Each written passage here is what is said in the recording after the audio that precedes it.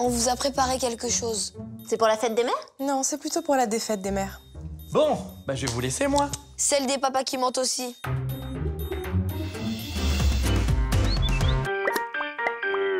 Vous passez votre temps à nous dire de pas être scotché à nos écrans. Sauf qu'on a mené l'enquête. Vous êtes accro. Oh Non, c'est pas, vrai. On fait attention. Mais très attention. On a des preuves.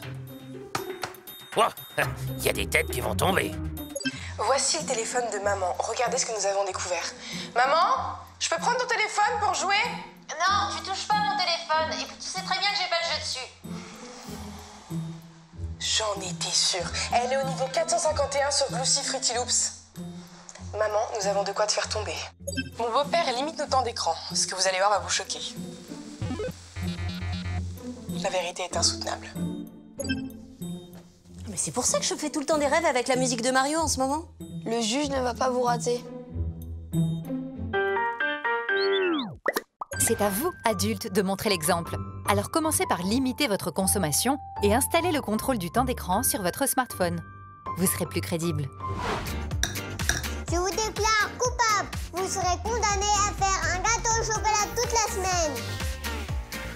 Petit côté strict me rappelle quelqu'un. Attends que je sois libérée, toi.